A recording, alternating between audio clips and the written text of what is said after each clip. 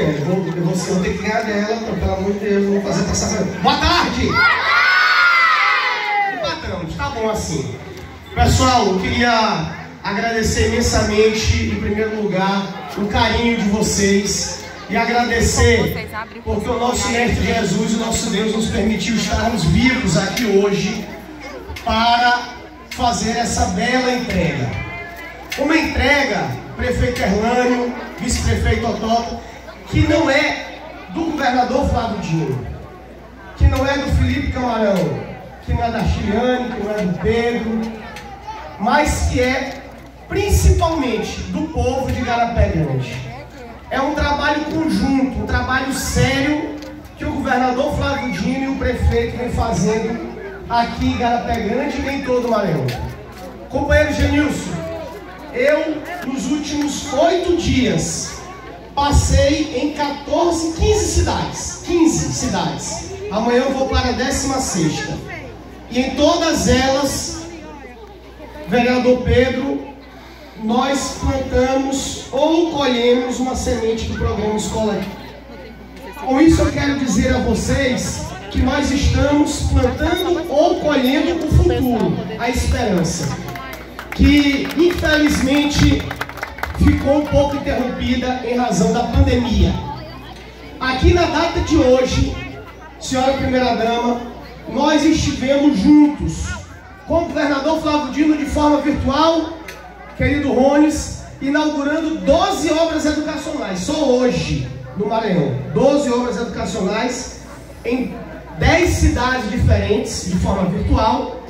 E depois nós visitamos escolas, visitamos o Farol do Saber.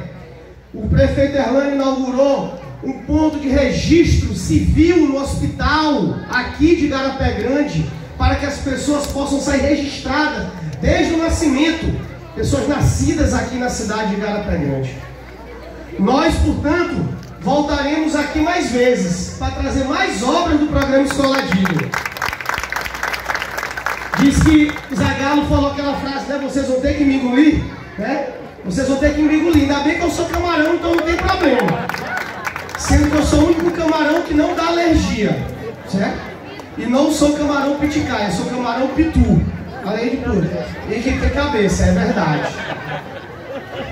Mas, além dessa inauguração virtual, eu, o prefeito Erlano e todos os vereadores e vereadoras fizemos questão de visitar pessoalmente, junto com o nosso querido vice-prefeito, a equipe do secretariado, a professora e amiga Xeriane, as duas escolas que serão, que foram e que agora serão entregues pessoalmente para vocês com estas duas obras e com a terceira escola que nós vamos entregar, daqui a mais ou menos 60 dias, nós iremos, em conjunto, acabar com todas as escolas inadequadas aqui de Garapé Grande de uma vez por todas. Além disso, em parceria com a Prefeitura, nós vamos reformar o Farol do Saber, que será a Biblioteca Pública Municipal de Garapé Grande. Além disso, a professora Aurelana, que ali está, com olho comprido, com aquela inveja boa, porque o Hernani veio me dizer que o bicho invejoso era prefeito prefeito. Eu duvido se é mais invejoso que gestor escolar. Eu duvido. Gestor e gestora são, rapaz, pense numa raça invejosa, que não pode olhar a escola do outro boa, não, que a minha também boa daquele jeito. Mas é uma boa inveja, porque é o melhor para as escolas e para o nosso estudante. É isso, Márcio? E a professora Aurilan pediu, e aqui está eu, o Sandro, o Francisco, a equipe toda aqui da SEDUC, em nome do governador Flávio Dino, para anunciar mais uma recuperação da Escola do Estado, construção da quadra poliesportiva, a cobertura da entrada da, da escola, resolver de uma vez por todas a climatização, meu querido James. Então, a escola vai ficar digna também, a escola do Estado. Mas agora, nesse momento, nós estamos aqui na vila. E eu estou feliz por uma dupla razão.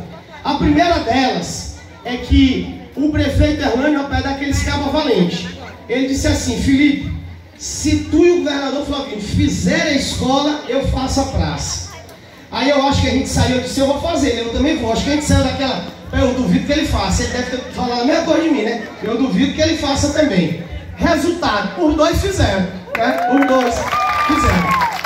O governador Flávio Dino, por meio da SEDUC, fez esta bela escola e nós estamos inaugurando esta bela praça. E esta praça recebe o um nome que assim que é, é, o meu sonho, que toda e qualquer obra pública receba o nome de pessoas que viveram nas comunidades. Que as pessoas conheçam. E a dona Maria Salete é assim, vereador Pedro. E eu quero assim me parabenizar o senhor e sua família. E, e o senhor sabe que não existe homenagem melhor, na minha opinião, do que uma pessoa ser homenageada com o nome de uma escola, o nome de uma biblioteca, o nome de uma praça que fica em frente a uma escola. Ela ficará eternizada. E agora toda criança, as centenas, as milhares de crianças que passarão por aqui nos próximos 10, 15, 20, 50 anos, vão ter no mínimo a curiosidade de saber quem foi a Dona Maria Salete. Portanto, ela está eternizada. Não apenas na memória, nos corações de vocês que a conheceram, mas de quem vem depois. É daí que vem o conceito da imortalidade das academias. Né? Fala assim, fulano está imortal. Né? É porque fica sendo sempre lembrado e agora sua mãe será, receba essa homenagem da cidade de Garapé, mas também do povo do Maranhão à sua mãe. E eu estendo essa homenagem a todos os demais vereadores e vereadoras que aqui estão. E a segunda razão muito especial e sentimental para mim é hoje estar reinaugurando uma escola que recebe o nome da dona Francisca Matias, que era uma amiga pessoal da minha família, uma amiga pessoal do meu pai. Aqui estão essas duas criaturas que me viram do tamanho desses aqui. Eu perturbando lá em São Luís, na Cátia Luiz, ou então aqui mesmo em Garapé Grande, quando vinha pequeno, e tenho ainda a lembrança da casa de Dona Francisca Matias e papai, quando eu mandei para ele a foto o vídeo da casa, ele falou boas memórias, boas recordações. Tem umas histórias engraçadas que eu não posso contar em público, né? Mas depois eu lembro ele dessas histórias. E meu pai é, tem uma gratidão imensa por Dona Francisca Matias, que faleceu infelizmente no acidente de carro às vésperas da eleição do meu pai para deputado. E meu pai até hoje ainda lembra dela com, muita, com muito carinho.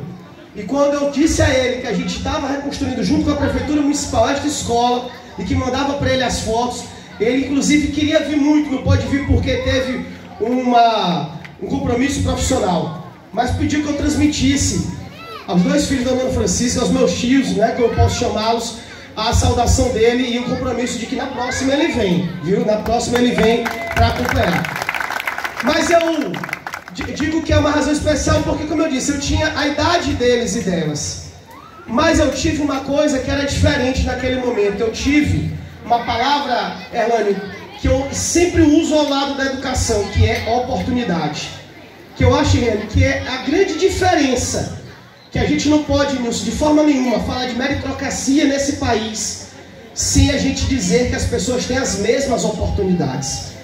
É uma competição desigual exigir que alguma criança que nasça no interior de um estado pobre, não estou falando só do Maranhão, estou falando no norte, nordeste, na periferia das grandes capitais, em que a mãe sequer teve a condição de ter o pré-natal, e que a criança não se alimente direito, não frequente a escola, é desigual, é desumano exigir que essa pessoa tenha o mesmo desempenho de alguma criança que tenha tido a oportunidade, ou a sorte, como queiram chamar, de ter nascido numa família com mais, com mais condições, estudar numa escola boa, de se alimentar bem. E por essa razão, prefeita Eudina, minha querida eterna prefeita Eudina, quando o governador Flávio Dino me convidou para ser secretário de Educação, Hernani, eu me senti assim, um jogador do Flamengo, que é o melhor time do Brasil, né? Eu acho que vocês concordam comigo que eu já era jogador do, do, do, do governo dele, sendo chamado para a seleção brasileira. Eu fiquei muito feliz. E o compromisso que o governador fez comigo e exige de mim até hoje é que as crianças do Maranhão, de todos os 217 municípios, Arinaldo, tenham as mesmas oportunidades que nós tivemos. Que quem teve a oportunidade de estudar numa escola boa também tenha, no governo Flávio Dino. Por essa razão, pessoal, Nós entregamos 21 obras educacionais esse mês. No ano passado foram 24 obras educacionais. Escola em tempo integral que antes não tinha. Tem escola bilíngue hoje em São Luís da rede estadual. Vai ter escola bilíngue em Santo Inês.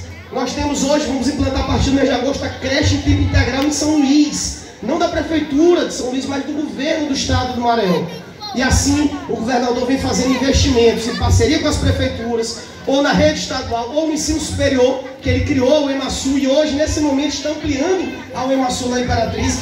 Nós estamos tentando garantir justamente isso: oportunidades. E se eu estou falando de oportunidades, eu estou falando de educação, eu não posso, Xeniane, deixar aqui de registrar a minha mais profunda gratidão e o meu mais profundo respeito em nome do governador Claudinho, que é professor, assim como eu, aos professores e professoras do estado do Maranhão e aqui de Garapé Grande. Eu, se eu pudesse, abraçar e beijar cada professor e cada professora. São tempos difíceis, tempos terríveis, tempos tenebrosos que nós estamos vivendo. Mas isso vai passar, já está passando. E não tem como a gente não ver uma escola como essa, bonita e climatizada, e não sonhar com esses bandos de meninos perturbando lá dentro. Não posso sentir, não é não? Correndo, se divertindo, brincando e estudando. Então eu quero encerrar as minhas palavras pedindo duas coisas para vocês, agora me dirigindo àquela à criançada, às famílias aqui da vila. Duas coisas apenas. Duas. A primeira coisa, que vocês cuidem da escola. É muito importante. O vereador Pedro falou isso aqui também na fala dele. Essa escola não é do Felipe, não é do Pedro, não é do Eduardo, não é do Hernani. Essa escola é de vocês de hoje e quem vem estudar amanhã. Depois de vocês, meu amigo Carlinhos, em nome de quem quero cumprimentar toda a imprensa e a blogosfera que está aqui nos acompanhando. Então, cuidem da escola. E a segunda coisa, estudem. Estudem. Porque sem o estudo, vocês vão sempre depender de alguém. Vocês vão sempre ter que depender de alguém para ser alguém na vida. E estudando, eu garanto, vocês vão poder escolher ser o que vocês quiserem, sem depender de ninguém, apenas de vocês próprios. E agora vocês têm uma responsabilidade maior. Porque se quem estudou aqui antes conseguiu chegar longe, quem estudou aqui agora, a partir de agora, tem a responsabilidade de ser melhor, melhor ainda. Então, prefeito Arnoldo, para concluir as minhas palavras, eu quero, em nome do governador Flávio Dino, reforçar o compromisso político, institucional e administrativo do governo do Estado com a Prefeitura Municipal de Garapé, com a sua gestão. Não apenas na área da educação, mas também na área da saúde, da infraestrutura, da segurança pública, da cidadania, como nós exercemos agora há pouco na inauguração do posto avançado de registro civil eu quero reafirmar o compromisso do governador com a cidade de Garapé Grande, com a sua, com a sua gestão.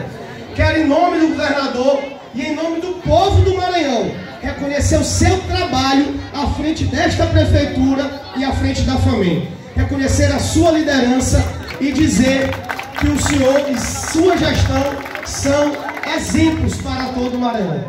E por fim, quero agradecer imensamente de todo o meu coração ao povo de Igarapé Grande pelo carinho, aos vereadores e vereadoras e toda a equipe da Prefeitura Municipal e a todos os professores e professoras, estudantes e toda a comunidade que aqui está. Viva Dona Francisca Matias! Viva Dona Maria Salete! Viva Igarapé Grande! Viva o Maranhão! Muito obrigado!